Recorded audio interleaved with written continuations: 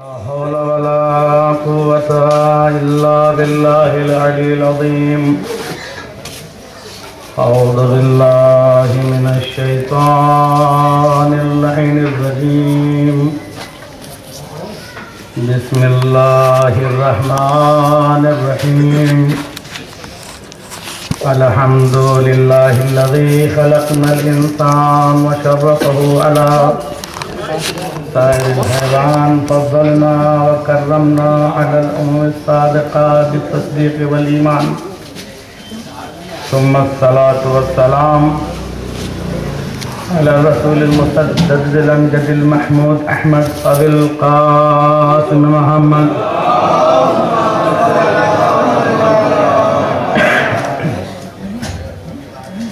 ثم الصلاة والسلام على ابن عمه ووزيره وخليفته وصاحب دوائه. علي ابن أبي طالب، غالب على كل غالب، مطلوب كل طالب، إمام المشارق والمغارب، فاتح خيبر خنسق والد شبير شبر. ثم الصلاة والسلام على فاطمة الزهراء التي قالت بعد وفاة أبيها. يا أبتا صبت علي مصائب لو أنها صبت على الأيام سرنا لياليا. ثم الصلاة والسلام على ولدها الحسين الشهيد المذبوح الشان بكربلاء. حين صار وحيدا وفريدا فقال ناظرا يمينا وشمالا. هل من ناصر ينصرنا، هل من مغيث يغيثنا.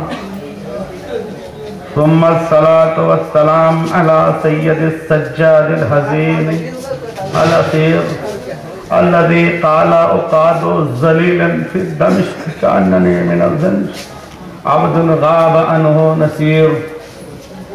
ولعنة الله على أعدائهم وقتلتهم وغاصبي حقوقهم. ومنكري فضائلهم وعظمتهم أجمعين من ليلتنا هذه إلى قيام يوم الدين. أما بعد فقد قال الله تبارك وتعالى في كتابه الكريم بسم الله الرحمن الرحيم. الذين قالوا لهم الناس إن الناس قد جمعوا لكم فاخشوهم فزادهم الإيمان. وقالوا حسبنا الله ونعم الوكيل. صلى الله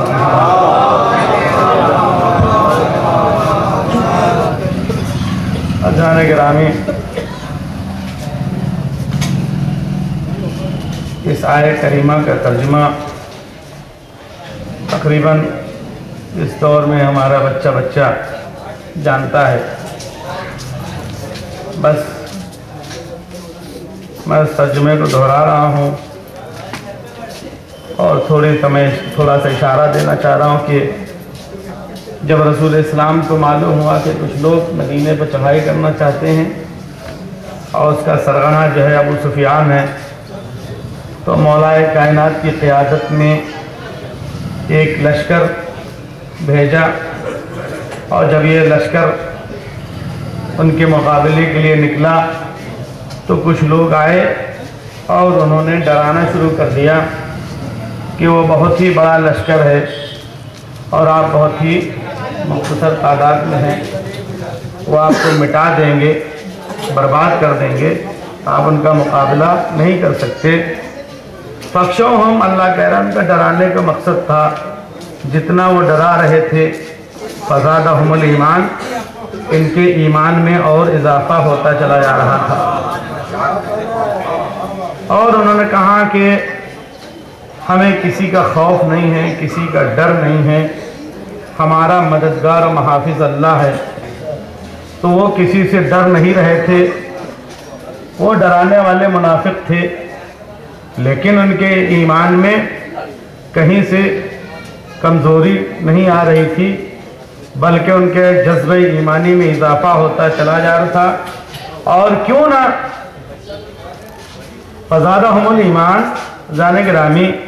ترجمہ تو یہ ہو گیا، لیکن ان کے ایمان میں اضافہ ہوتا چلا جا رہا تھا، ایمان میں اضافہ کیوں کر نہ ہوتا؟ اس لیے کہ ساتھ میں جو کل ایمان تھا۔ سلوات پڑھ دیں محمد علیہ محمد۔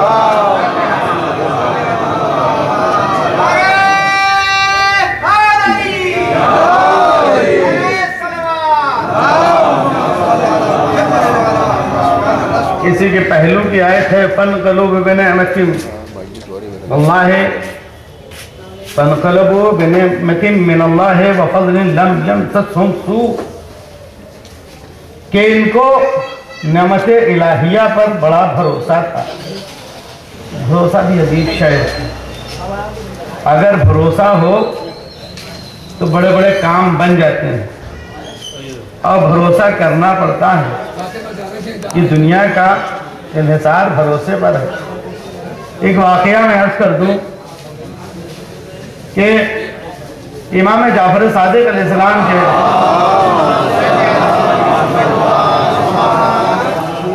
شاگردوں میں ایک کا نام ہے داؤد تائی یہ اچھے عالم تھے۔ ان کا زمانہ تھا۔ اب دیکھیں بھروسہ کیا ہوتا ہے۔ ان کے زمانے میں ایک شخص انتقال کر گیا اور گھر پہ تین درہم چھوڑے۔ بچے، بیوی اور تین درہم۔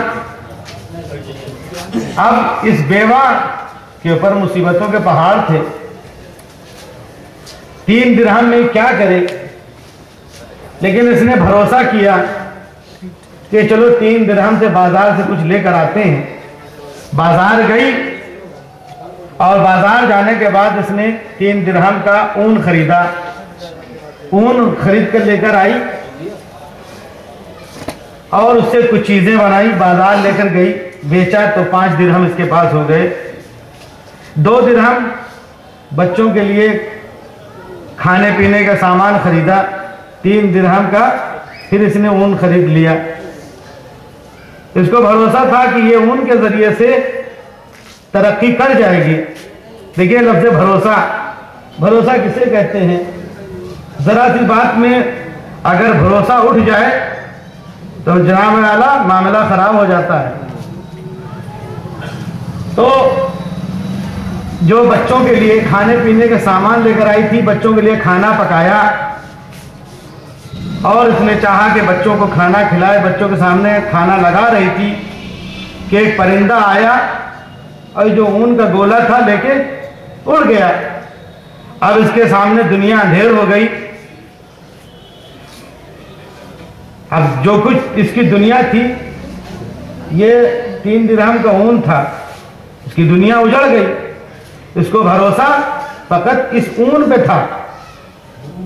اس کو بھروسہ فقط اس اون پہ تھا۔ اگر خدا پر بھروسہ ہوتا تو اس طرح سے آہو فریاد نہ کرتی۔ اور اپنا ایمان اس طرح سے ضائع نہ کرتی۔ جب یہ بہت پریشان ہو گئی، یہ سب چیزیں، حکایتیں، یہ ہمارے لیے درسگاہ ہیں۔ یہ سب درس ہیں جن سے ہمیں عبرت ملتی ہے، جن سے ہمیں نصیحت ملتی ہے۔ یہ پریشان ہو گئی۔ بہت پریشان ہو گئی کہ اب کیا ہوگا، ہماری تو دنیا اجڑ گئی۔ جو کچھ تھا تین درہموں پر ہمارا انحصار تھا، لیکن وہ بھی پرندہ لے کے چلا گیا۔ باہر کر بھی پریشان ہو گئی۔ داؤد تائی کے پاس پہنچی۔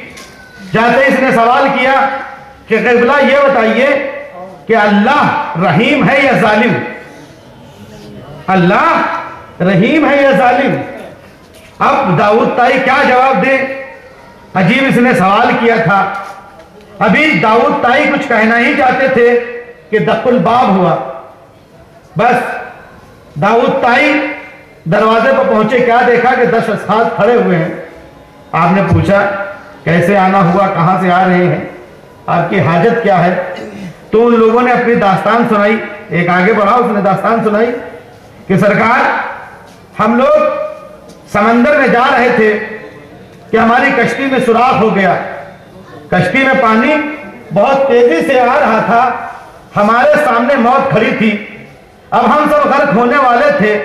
کہ ایک مرتبہ میں ہم لوگوں نے فریاد کی کہ پالنے والے، اگر ہم لوگوں کی جان بچ جائے گی تو ہم میں سے ہر ایک ایک ایک ہزار درہم صدقہ دے گا۔ ہم میں سے ہر ایک ایک ایک ہزار درہم صدقہ دے گا۔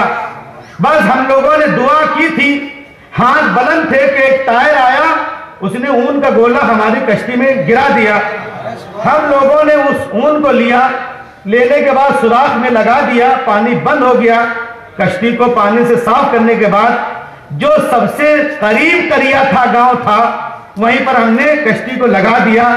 جب یہاں پر پہنچے تو میں نے لوگوں سے دریافت کیا کہ تمہارے درمیان میں امین، صالح، عالم کون ہے؟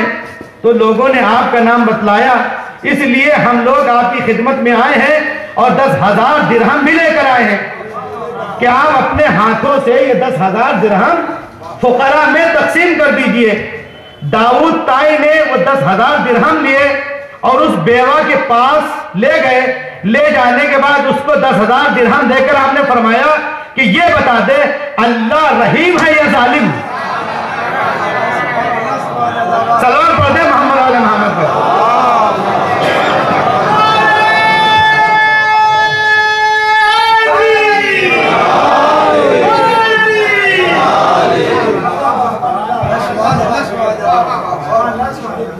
اللہ، اگر اللہ پر بھروسہ ہو جائے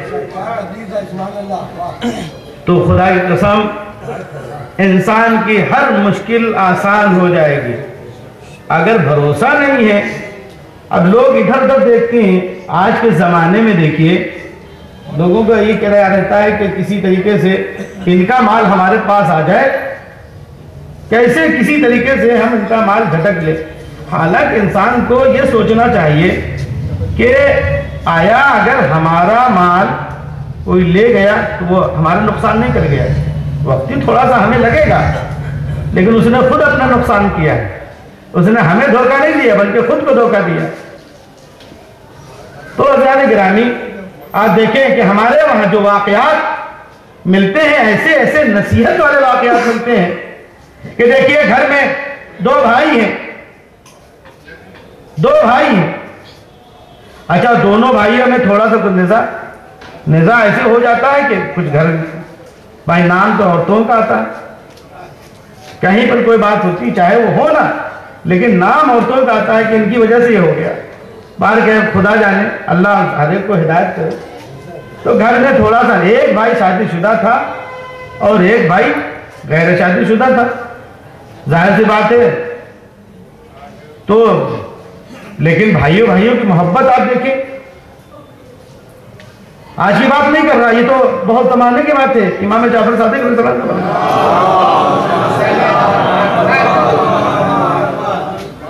دونوں بھائی کسان تھے، زراعت کرتے تھے۔ شادی شدہ بھائی نے اپنے بھائی کی کچھ اس طرح سے مدد کی۔ جب وہ بھائی اس کا چلا گیا تو اس نے اپنے حصے میں سے گندم لے کر کے اس کے بوروں میں اضافہ کر دیا کہ یہ میرا بھائی غیر شادی شدہ ہے، اس کو بیچ کر کے جب پیسہ جمع کرے گا تو اس سے شادی وغیرہ کر لے گا۔ اب یہ ہمارے وہاں کی شادیاں تھوڑی نہ ہے کہ ہم دیکھتے ہیں کہ لڑکی والے دیں گے کیا؟ اسلام کی شادی دوسری ہے کہ ہمیں دینا پڑتا ہے مہر دینا پڑتا ہے۔ جو کچھ گھر کا آرائش کا سامان ہوتا ہے، ہمیں خریدنا پڑتا ہے۔ لیکن یہ تو ہمارے وہاں کی شادیاں ہیں، ہم نے کہاں سے لے لیا ہے؟ باہر کے ممبر سے نہیں کہہ سکتے۔ ہم جہاں بیٹھے وہیں کے اپنے صحبت کو اختیار کر لیا۔ باہر کیا تو یہ اس زمانے کی شادی، عرب کی شادی، کہ اس سے جو ہے نا پیسہ جمع کرے گا، شادی کر لے گا۔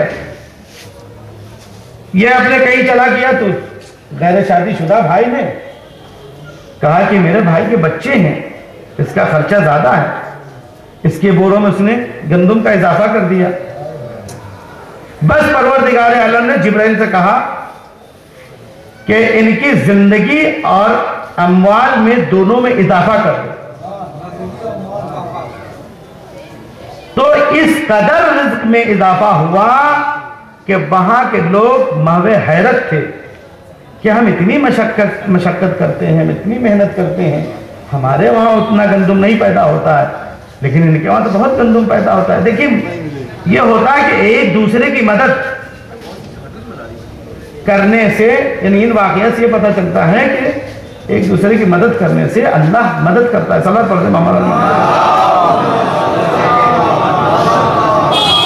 اور جیسا کہ آپ نے ابھی مجلس کے شروع میں آپ نے فرما دیا، یقیناً جو مدرسہ کھولا ہے ہم نے، ہمارا مقصد صرف اور صرف یہی ہے کہ آج جو ہم لکھنؤ میں مجالس کی آوازیں سن رہے ہیں، تو جو مقاتل کی کتابیں ہیں، آپ اس میں دیکھیے کہ وہ چیزیں آپ کو نہیں ملیں گی۔ اور خدا جانے کہاں سے ہم نے تو خواتین اور ایک آج جو مثلا طالب علم، سمجھ لیجیے، یا اردو پڑھ کر کے ممبر پہ مولانا کو توفیق عطا فرمائے۔ اور وہ بیٹھ گئے، انہوں نے ہم نہیں ہم نہیں کہتے کہ انہوں نے اپنے پاس سے پڑھا۔ وہ کسی کتاب سے پڑھا ہوگا، لیکن ایسی کتاب اگر دیکھیں تو یاد رکھیں کہ وہ ہمارے درمیان سازش کی جا رہی ہے۔ اس لیے کہ ہمارے وہاں دیکھیے، یہ تین گروہ ہیں۔ اور ایک جعفری، چوتھا گروہ۔ ایک ہے حنفی، یہ بھی آپ کو تقریریں کرتے ملیں گے، مجلسیں پڑھتے ملیں گے۔ بہت مولا علی کی مدح کریں گے مسائل پڑھتے ہیں، اچھی چیزیں پڑھتے ہیں۔ یا وہ بریلوی اسی میں آتے ہیں، لیکن بریلوی بھی آپ کو مجلسیں پڑھتے ملیں گے مسائل پڑھتے ملیں گے۔ ہاں ایک زبیری گروہ نکلا ہے جنہوں نے اپنا اعلان نہیں کیا ہے۔ جو کہ جھوٹی باتیں نقل کر رہے ہیں اور ہماری ذرا سی بات پا رہے ہیں۔ اس کو ریکارڈ کر کے لے جا رہے ہیں اور اس کو نیٹ پہ باقاعدہ دکھا رہے ہیں، جو بچے نیٹ وغیرہ استعمال کرتے ہیں۔ دیکھ لیں ان پر کیسی خرافات۔ نوز باللہ، خمینی صاحب کے اوپر بہتان لگا رہے ہیں کہ دیکھیے انہوں نے اس کتاب میں یہ لکھا ہے۔ حالانکہ ان کتابوں وہ چیز ہے نہیں۔ یعنی کتاب دکھا رہے ہیں وہاں کتاب کس کو دکھائی دے؟ وہاں وہ کہہ رہے دیکھیے یہ لکھا ہوا ہے۔ اب وہ لاکھوں کا مجمع بیٹھا ہوا ہے، وہ سب یقین سمجھ رہا ہے۔ کیونکہ وہ بیچارہ ٹوپی لگائے ہوئے شیروانی پہنے ہوئے۔ جب بھی شیطان نے قوم کو گمراہ کیا ہے، تو یہ مقدس لباسی پہن کے گمراہ کیا ہے۔ آپ کو ایک واقعہ سنا دوں۔ بنی اسرائیل کے زمانے جناب موسیٰ علیہ السلام کے زمانے میں ایک شخص عبادت کر رہا تھا۔ تمام شیطان پریشان تھے، تمام شیطان پریشان تھے۔ کوئی اس کو بہکا نہیں پا رہا تھا۔ ایک شیطان اس نے کہا کہ میں بہکا دوں گا۔ کہا کہ وہ کیسے؟ کہا کہ ہمیں آپ محلت دیجیے، اپنے لیڈر سے اس نے کہا محلت دیجیے۔ کہا کہ ٹھیک ہے، میں تمہیں محلت دیتا ہوں۔ اب گیا وہ جناب مقدس لباس پہن کر کے وہ بہترین ٹوپی اور شیروانی پہن کر کے جو میں اپنے لفظوں میں بیان کر سکتا ہوں۔ جا کر اس کے برابر میں مسلح اس نے بچھا دیا۔ اب وہ جناب وضو بھی کر رہے ہیں، پانی بھی پی رہے ہیں، بھوک لگ رہی، کھانا بھی کھا رہے یہ جو شروع ہوا ہے، نہ یہ وضو کر رہا ہے، نہ یہ کھانا کھا رہا ہے، نہ یہ پانی پی رہا ہے۔ اب بیچارہ یہ عابد جو ہے، یہ پریشان۔ یا خدا، یہ تو بہت بڑا عبادت گزار ہے۔ اس سے بڑا عبادت گزار تو میں نے دیکھا ہی نہیں۔ یہ چاہ رہے کہ اس سے گفتگو کریں، کچھ بات کریں، یہ محلت تو دے۔ لیکن وہ کہیں سے محلت نہیں دیتا۔ یہ بیچارے عبادت چھوڑ کر کے بیٹھے ہوئے ہیں کہ یہ نماز تمام کرے۔ لہذا میں اس سے گفتگو کروں۔ اب جو سجدے پڑا تو پڑے ہی بیچارے انتظار کر کے پھر انہوں نے نماز شروع کر دی۔ باہر گئے، بہت جب ابلیس نے جان لیا کہ ہاں اب یہ پریشان ہو گیا۔ تو ایک مرتبہ مہلت دی۔ انہوں نے کہا کہ ارے جناب، آپ نے کیا کہنا؟ کتنا تقرب الہی آپ نے حاصل کر لیا کہ اس قدر آپ عبادت کر رہے ہیں؟ کہا کہ ہمیں بھی بتا دیجیے وہ طریقہ تم نہیں کر سکتے۔ یہ کہا کہ پھر نماز شروع کر دی۔ یہاں تک کہ تیسری مرتبہ جب اس نے جان لیا کہ اب یہ مجبور ہو گیا، تو کہا کہ تم نے کوئی گناہ کیا؟ ہے انہوں نے کہا، گناہ کیا ہوتا ہے؟ تو دیکھیے، تو اس نے ایسی جگہ بتا دی کہ بیچارے وہ گناہ کرنے کے لیے چلے۔ اور جب وہاں وہ پہنچے تو اس جو گناہ گارا تھی، اس نے کہا کہ جا کے دیکھ لیجیے وہ شیطان تھا، کوئی دوسرا نہیں تھا۔ چلو بردے محمد علیہ محمد۔ تو یہ جو زبیری ہیں، یہ اسلام کا لباس پہن کر کے اسلام کو نقصان پہنچا رہے ہیں، جو طرح طرح کی باتیں کر رہے ہیں۔ باہر کے جیسے کہ ہمارا مقصد بھی یہی ہے کہ مدرسے سے بچیاں پڑھ کے نکلیں۔ اور نکلنے کے بعد جو مجلسیں پڑھیں تو قاعدے سے اور لوگوں کو بتائیں۔ اور ہمارے وہاں مدرسے کی لڑکیاں ماشاءاللہ سے چار پانچ ہیں جو اچھی طریقے سے مجلس پڑھ رہی ہیں اور وہی پڑھتی ہیں مجلس جو کہ ان کو مقاتل سے بتایا جاتا ہے، جو مدرسے میں پڑھایا جاتا ہے۔ اور جو اپنی طرف سے کوئی چیز پڑھتی ہے نئی چیز ان کو لگتی ہے، اور اس میں ذرا سے بھی شبہ ہوتا ہے تو فوراً ہی فون کر کے یا مدرسے میں آ کر کے پوچھتی ہیں۔ اچھا آج کل عقائد دیکھیے کتنے خراب کیے جا رہے ہیں؟ خود ہم میں اتنا زیادہ مطلب عقیدے کو خراب کیا جا رہا ہے اور ہم بہت ہی عقیدے کمزور ہو چکے ہیں کہ فون مولوی بیچارہ کیا کہے کہ موجزہ ہو گیا مولانا صاحب۔ اب مولانا صاحب سے کون سا موجزہ ہو گیا؟ کہنے کہ وہ جناب ایسا ایسا ہو گیا۔ اب مولوی کیا بتائے؟ اگر کہہ دے کہ یہ موجزہ نہیں ہے تو یہ مولوی کا عقیدہ خراب ہے۔ اور اگر کہتے ہیں موجزہ ہے تو گناہ گار ہے یعنی قوم کو گمراہ کر رہا تو مولوی بیچارہ کرے تو کیا کرے؟ باہر کہ کچھ واقعات، کچھ حادثات ایسے ہوتے ہیں جو اگر کہ ہم لوگ ممبر سے آ کے بیان کر دیتے ہیں۔ معجزہ دیکھے کہتے ہیں وہ جس سے ذہن انسان آجز آ جائے۔ اس سے بنا ہے معجزہ۔ جس چیز کو جو چیز سمجھ میں آ جائے، اسے معجزہ نہیں کہہ سکتے۔ مثلا یہ ستون تھا، پتھر کا ہے۔ بیٹھے بیٹھے ہم نے دیکھا سونے کو ہو گیا۔ تو یہ کہیں گے معجزہ یا کرامت کہیں گے۔ یا کوئی انسان مفلوج تھا، پیدائشی مفلوج تھا اس نے غازی کا نام لیا، غازی نے اشارہ کر دیا، شفا ہو گئی، اٹھ کے کھڑا ہو گیا۔ اسے کرامت کہیں گے یا معجزہ کہیں گے۔ یہ تھوڑی نہ کہ کہیں سے پنجے سے پانی ٹپکنے لگا، تو معجزہ ہو گیا۔ کہیں تھوڑی سی روشنی آنے لگی، تو معجزہ ہو گیا۔ ولو ہے، ہم کہتے ہیں ولو ہے، لیکن چونکہ ذہن انسانی اس سے عاجز نہیں۔ تصورات کی دنیا میں کھو جائے گی۔ کہ طرح طرح کی باتیں کرنے، جب طرح طرح کے لوگ باتیں کرنے لگے تو سمجھئے موجزہ نہیں ہے۔ اچھا ہم لوگ کیسے موجزہ بتائیں؟ سوال کرتے ہیں، فون کر کے مولی صاحب، یہ موجودہ ہے کیا ہے؟ اب مولی صاحب کیا بتائیں؟ تو مجالس میں تقریباً جہاں مجھے موقع ملا ہے، یاد آ گیا ہے تو میں نے ضرور اس واقعے کا سہارا لیا۔ اور آپ لوگ بھی جانتے ہوں گے۔ بہت ہی مختصر سا ایک واقعہ ہے کہ بغداد کے بازار میں ایک شخص گدھا بیچ رہا تھا۔ گدھا بیچ رہا تھا کہ پانچ ہزار دینار میں گدھا لے لو۔ پانچ ہزار دینار میں گدھا لے لو۔ پانچ ہزار دینار میں گدھا لے لو۔ لیکن کوئی لینے کے لیے آگے بڑھا ہی نہیں۔ کیونکہ وہ گدھا اتنا کمزور لاغر بوڑھا تھا۔ کون لیتا؟ ادھر سے بادشاہ اور وزیر کا گزر ہوا۔ بادشاہ اور وزیر کا گزر ہوا۔ بادشاہ اس آواز کو سن رہا تھا کہ بڑی دیر سے ایک آدمی چیخ رہا ہے، پانچ ہزار دینار میں گدھا لے لو، پانچ ہزار دینار میں گدھا لے لو۔ اب تک کوئی لینے کے لیے آگے نہیں بڑھا۔ وزیر سے کہا، جا کے دیکھو ماجرہ کیا ہے۔ اب جو وزیر گیا تو فطرت انسان ہے کہ سن رہے ہیں کہ وہ آواز لگا رہا ہے کہ جناب اتنے کی چیز ہے، لیکن پھر بھی جا کے ہم پوچھتے ہیں کتنے کی ہے۔ وزیر سے یہی غلطی ہو گئی۔ وزیر نے اس سے پوچھ لیا کہ جناب والا یہ کتنے کا ہے؟ تو اس نے کہا پچاس ہزار دینار کا ہے۔ تو وزیر حیرت میں پڑ گیا کہ یہ کیا ہے؟ یہ تو پچاس، ابھی تو پانچ ہزار کہہ رہا تھا، پچاس ہزار۔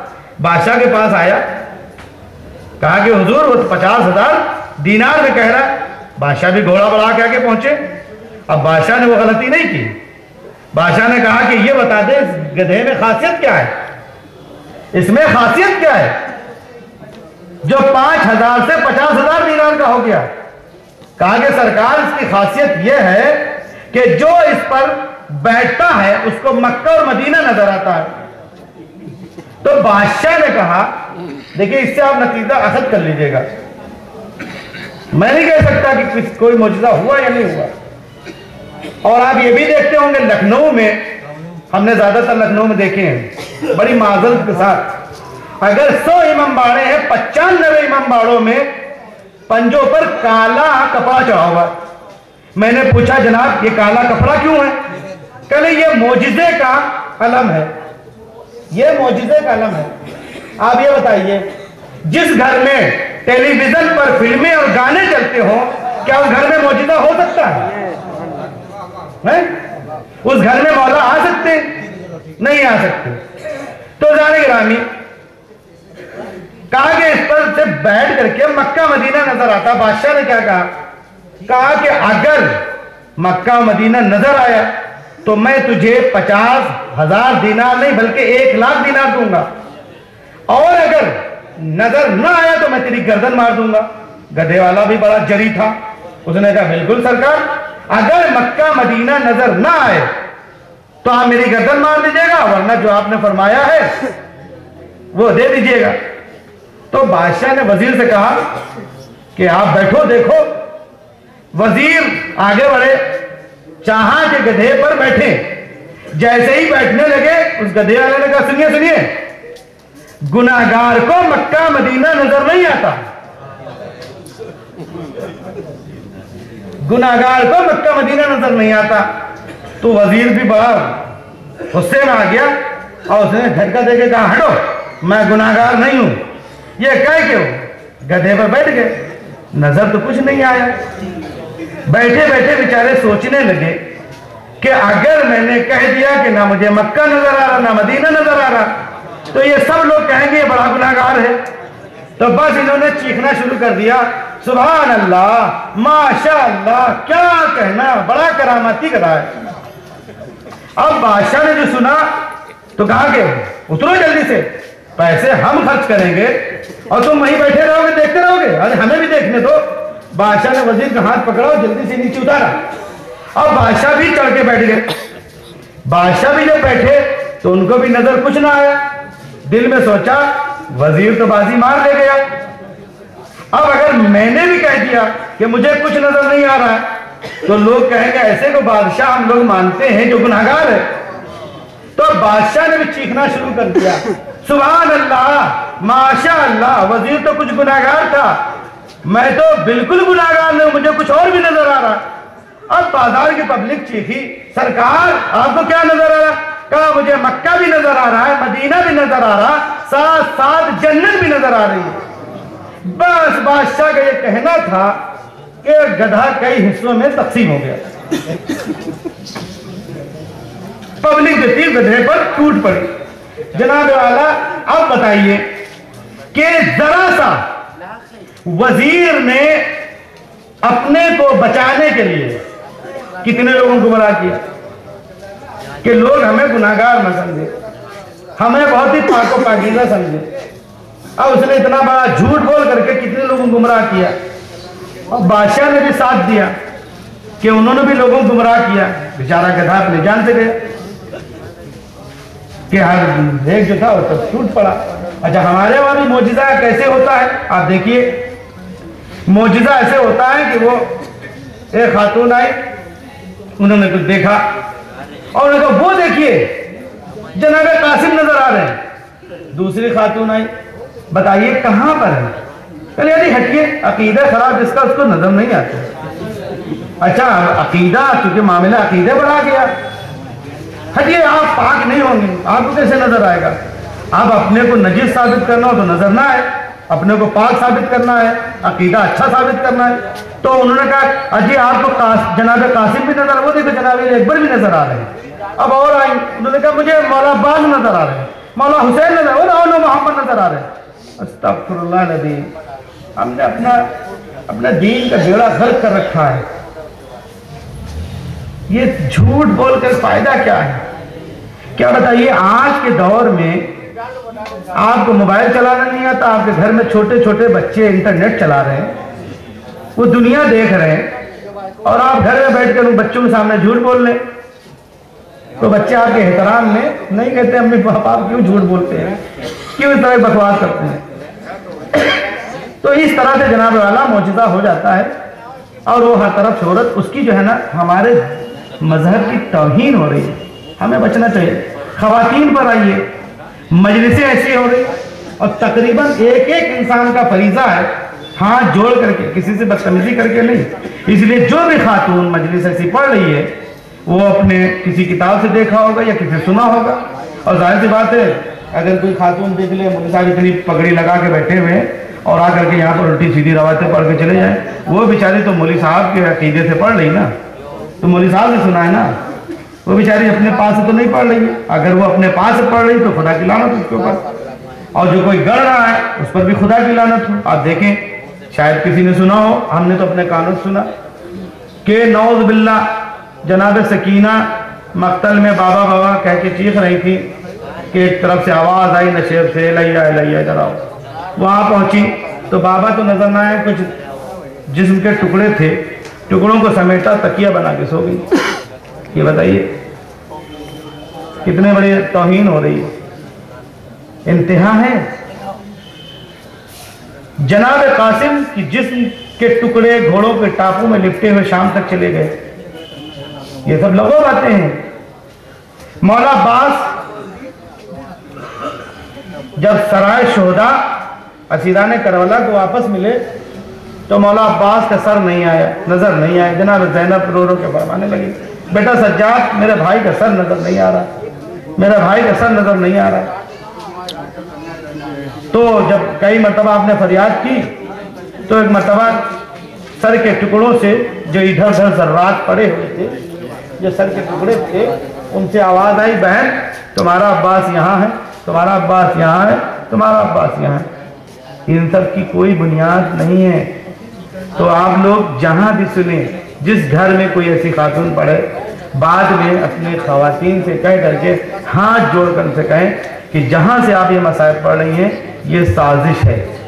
اس لیے کہ مسائل کے میدان میں ہمیں جھوٹ کی طرف پہنچا دینے کا مقصد یہ ہے کہ جو آج ہماری سچی باتوں کو جھوٹ کہہ رہے ہیں، تو جھوٹ جو ہوگا نا، تو اس کو تو وہ چھل چھل کر کے ہر طرف بیان کریں گے۔ تو کیا ہمارا ایک مقصد اور ایک ہدف آپ نے یاد دلا دیا تو میں نے ذکر کر دیا۔ اور ہم بچوں کو اپنے وہاں جو پڑھتے ہیں، تو جو بچیاں پڑھتی ہیں، ان کو یہی میں نصیحت کرتا ہوں کہ جہاں بھی جاؤ، لوگوں کو بعض نصیحت بتاؤ اور لوگوں سے غسل وغیرہ، خواتین سے پوچھو، ان سے تمام چیزوں کے بارے میں جو ضروریات ہیں، روزمرہ کی ضرورتیں ہیں، ان کے بارے میں سوال کرو اور ان کو بتاؤ، پیار سے بتاؤ۔ سوال پڑھ دیں محمد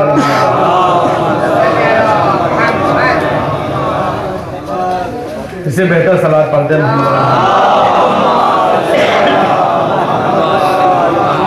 تو بات چل رہی تھی بھروسے پر۔ بھروسہ ہو تو بڑے بڑے کام ہو جاتے ہیں اور بھروسہ کرنا پڑتا ہے۔ تو کیا قرآن نے کیا کہا؟ فن قلبو بنعمت من اللہ وفضل لم یمسسہم سو ان کو فضل الہی پر اتنا بھروسہ تھا، اتنا بھروسہ تھا، لم یمسسہم سو جب یہ پلٹ کر آگئے جنگ تو نہ ہوئی، یہ پلٹ کر آگئے لم یمسسہم سو برائی ہونا تو دور کی بات ہے، برائی نے چھوا تک نہیں۔ کس وجہ سے؟ کس وجہ سے؟ اس وجہ سے کہ ان کو فضل الہی پر بھروسہ تھا۔ ان کو برائی نے چھوا تک نہیں۔ تو عزیزان گرامی، اگر کسی کو فضل پر بھروسہ ہو، فضل الہی پر بھروسہ ہو، تو ان کو برائی چھو تک نہیں جاتی ہے۔ اب اگر کسی کو ابو الفضل پر بھروسہ ہو جائے، سلام پڑھے محمد والا محمد کا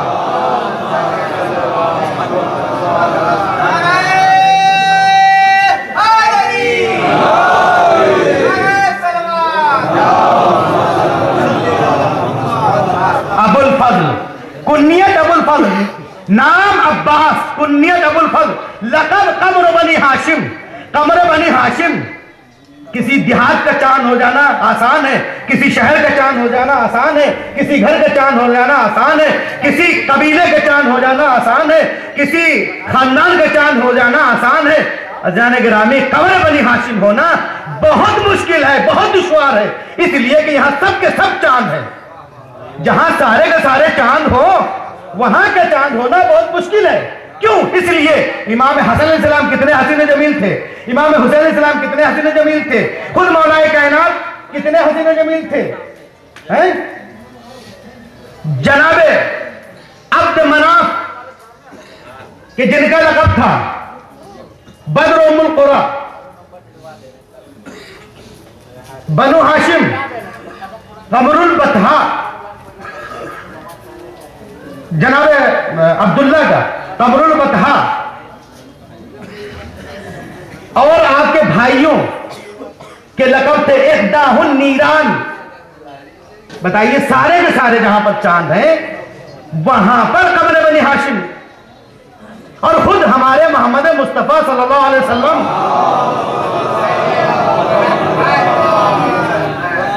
کتنے حسین جمیل تھے۔ وہ تو ایک واقعے سے پتہ چلتا ہے جناب یوسف گھوڑے پر سوار ہو کر جا رہے تھے۔ کیا دیکھا راستے میں ایک بوڑھی عورت اسے کے سہارے پہ کھڑی ہے۔ اپنے خادم سے کہا، جاؤ دیکھو کوئی شاید اس کی کوئی حاجت ہے۔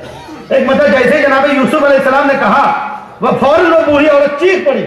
الحمدللہ الذی عبد العبید لطاعتہم وذل الملوک بمعصیتہم تمام تعریفیں اس اللہ کے لیے ہیں کہ جس نے اطاعت کی وجہ سے غلاموں کو بادشاہ بنا دیا۔ اور گمراہی کی وجہ سے بادشاہوں کو غلام بنا دیا۔ تو ایک مطلب جناب یوسف نے کہا، زلیخا، کیا تم ہو؟ کہا کہ ہاں یوسف، میں ہوں۔ کہا، زلیخا، یہ تمہاری حالت کو کیا ہو گیا ہے؟ تو ایک مطلب زلیخا نے کہا، یوسف، یہ تمہاری وجہ سے ہو گیا ہے۔ جو میرا حال آج ہے، وہ تمہاری محبت کی وجہ سے ہو گیا ہے۔ تو ایک مطلب جنابی یوسف نے کہا، اے زلیخا، تم نے مجھے دیکھا ہے تو تمہارا یہ حال ہو گیا ہے۔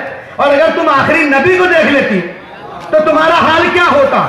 تو ایک زلیخا نے کہا کہ ان کا نام کیا کیا ان کا نام محمد ہے۔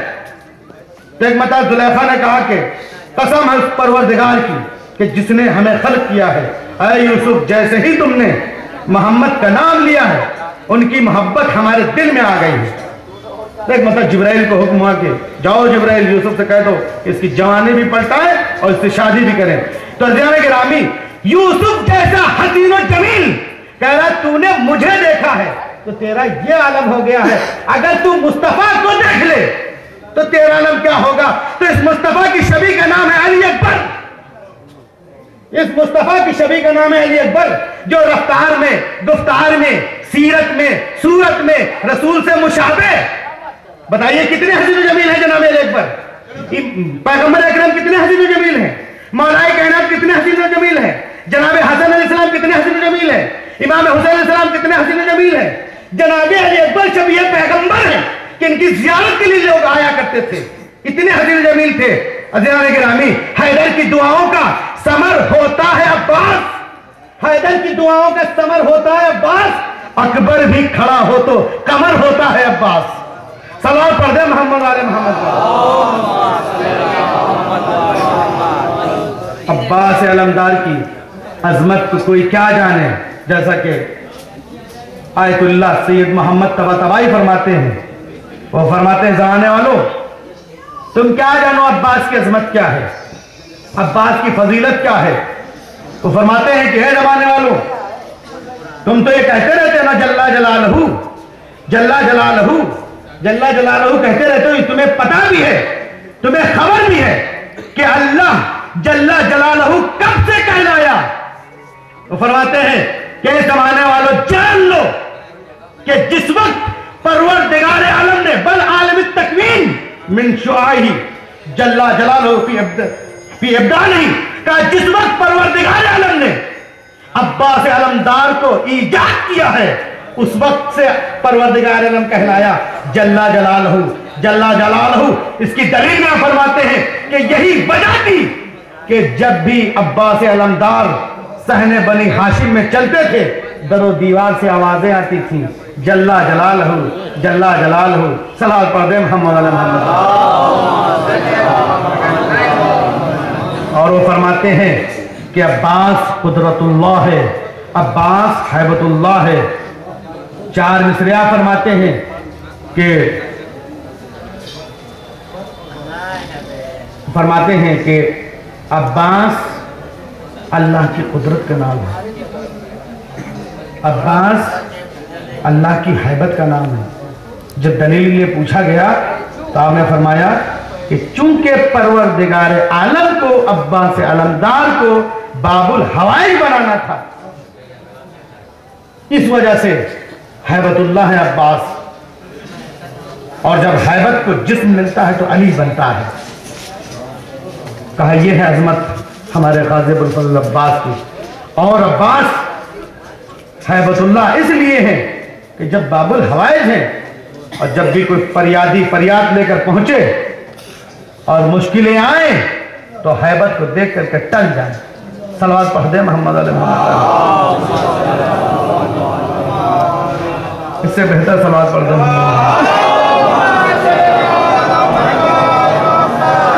اور آپ فرماتے ہیں قسمن بسالم السقیل وَإِنَّنِي فِي غَيْرِ السَّائِقَةِ السَّمَانَ اُقْسِمُ لَوْلَ الْقَضَى لَمَحَ الْوُجُودِ بِسَيْفِهِ واللہ یفعل ما یشاء و یحکمو وہ فرماتے ہیں کہ زمانے والوں تم عباس کی شجاعت کے بارے میں کیا جانو، کیا پہچانو؟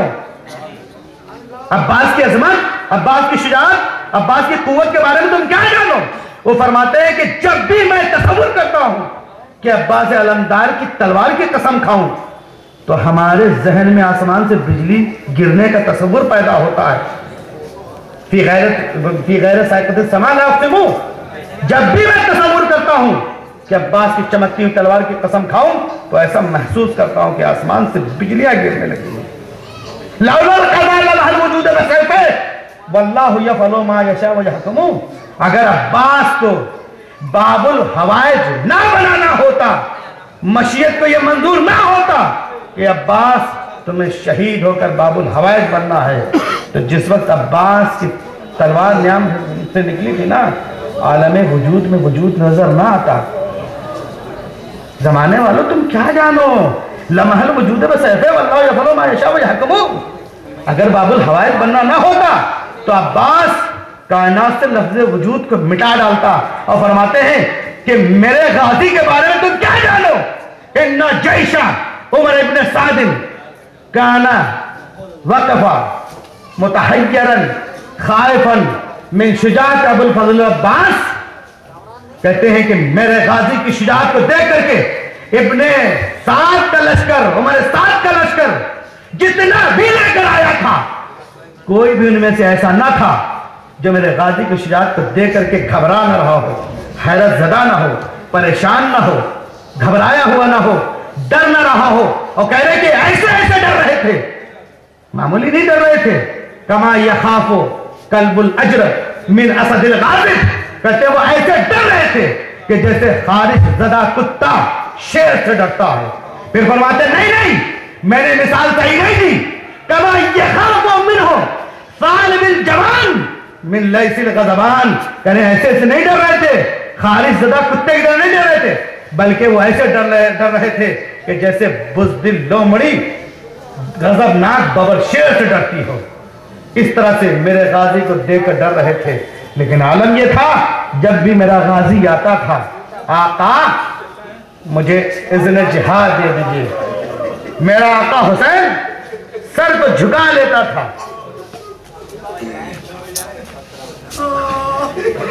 میرا آقا سر کو جھکا لیتا تھا۔ اور جب بار بار اصرار کرتے تھے، جب ایک مرتبہ نے اصرار کیا، تو ایک مرتبہ امام حسین السلام نے کہا کہ بھیا، تم مرنے کی تمنا لے کر آئے ہو۔ تم تو ہمارے لشکر کے لمبردار ہو۔ تو ایک مرتبہ غازی نے مقتل کی طرف دیکھ کر کہا کہ، آقا اب وہ لشکر ہی کہاں رہ گیا؟ کہ جس کی میں علم برداری کروں، مظلوم کربلا کے پاس کوئی جواب نہ تھا۔ سر جھٹا کر کھڑے ہو گئے کہ بس اسی اسنا میں جناب سکینہ۔ چھوٹے چھوٹے بچے، ہاتھ میں سوکھے کوزے لیے ہوئے اللہ تاش اللہ تاش کی صدائیں بلند کرتی ہوئی نکل آئی۔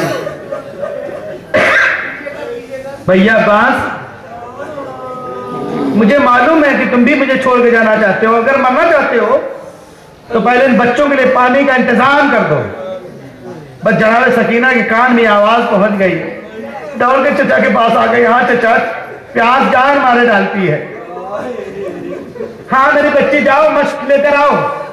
جناب سکینہ مشکیزہ لے کر آئی چچا کے حوالے کیا۔ ایک غازی ابو الفضل عباس نہر کی طرف پہنچے۔ گھوڑے کو فرات میں ڈال دیا، مشکیزے کو بھرا دوش پہ رکھا، فرات کا رخ کیا۔ اور ایک مرتبہ پسر سعد نے نعرہ کیا، اگر ایک بھی قطرہ حسین کے خیموں میں پہنچ گیا تو قیامت آ جائے گی۔ بس ہر طرف سے تیروں کی بارش ہونے لگی، نیزوں کی بارش ہونے لگی۔ اب عالم یہ تھا کہ سینے پہ نیزے پشت کی طرف نکلے ہوئے۔ پشت کے نیزے سینے کی طرف نکلے ہوئے۔ ادھر پہلو کے نیزے، ادھر پہلو میں، ادھر پہلو کے نیزے، ادھر پہلو میں۔ تیروں کی بارش پورا جسم تیروں سے چھلنی ہے۔ لیکن مشق سکینہ کو دبائے، اس کی حفاظت کرتے ہوئے میرا غازی خیمے کی طرف پڑھ رہا ہے۔ ہاں اسی اسنا میں ایک شکین داہنا شانہ قلم کر دیا۔ عزاداران امام، دوسرا شانہ بھی قلم ہو گیا۔ ہاں حضرت امام، اب میرے غازی کی تمنا یہ ہے۔ کہ کسی طریقے سے خیام حسینی تک پانی پہنچ جائے۔ ہاتھ تو سلامت نہیں ہے۔ ہاں ہاں جوانوں، یاد رکھو، جب بھی ہمارے کہیں پر بھی چوٹ لگ جاتی ہے، تو ہاتھ سے فوراً جگہ پر ہاتھ پہنچ جاتا ہے کہ کسی طریقے سے خون روک لیا جائے۔ کسی طریقے سے یہ خون روک لیا جائے۔ خون نہ بہنے دیا جائے۔ ذرا تصور تو کرے میرے غازی کے دونوں شانے قلب ہو گئے۔ اور دونوں ہاتھ سے خون بہ رہا ہے خون بہ رہا ہے لیکن آرزو یہی ہے کہ خیام حسینی تک پانی پہنچ جائے۔ ہاں حضرت امام، بس اسی اسنا میں سنسناتا ہوا تیر آیا۔ آپ کی ڈائری آنکھ پہ پڑ گیا۔ ہاں حضرت امام، بس تیر کا پڑنا تھا کہ تکلیف میں اضافہ ہوا۔ لیکن گھوڑے کو ایڑ لگاتے ہوئے خیام کی طرف بڑھ رہے ہیں۔ میرا غازی فرماتا ہے کہ میں نے چاہا، میں نے چاہا کہ اپنی آنکھ سے تیر کو نکالے۔ بہت کوشش کی۔ بہت کوشش کی، سر کا ماما گر گیا۔ جب تیر نہ نکل سکا، میں نے چاہا کہ زانو کے ذریعے سے اس تیر کو نکالے۔ بس جیسے ہی میں نے سر کو جھکایا، ایک شکی نے ایسا گرد مارا کہ میرا سر شکافتہ ہو گیا۔ جانتے ہیں، تاریخ میں دو لوگوں کے لیے، فقط ایک مولا علی کے لیے اور غازی ابو الفضل عباس کے لیے یہ جملہ ملتا ہے۔ وہ شکا راسہو الہ موضع سجودے یعنی مولا عباس کا سر نشان سجدہ تک پھٹ گیا تھا شگافتہ ہو گیا تھا۔ مولا علی کا بھی سر انیس رمضان کو جو سر پہ ضربت لگی تھی، تو نشان سجدہ تک آپ کا سر شگافتہ ہو گیا تھا۔ جزاکم ربکم، خدا تو کسی کا من اللہ ہے لیکن تصور شرط ہے، جس وقت مولا کائنات یا ہمارے بھی سر پہ چوٹ لگتی ہے نا، فطرت انسان فوراً ہاتھ سر پہ پہنچ جاتا ہے۔ انیس رمضان کو جب مولا علی کے سر پہ ضربت لگی تو آپ نے اپنے سر کو دونوں ہاتھوں سے پکڑ لیا۔ آہستہ آہستہ زمین پر بیٹھ گئے۔ میں کہوں گی، علی کربلا میں آ جائیے۔ ارے عباس کا سر شگافتہ ہو گیا ہے۔ آپ کے ہاتھ تو تھے کہ ہم نے سر کو پکڑ لیا، لیکن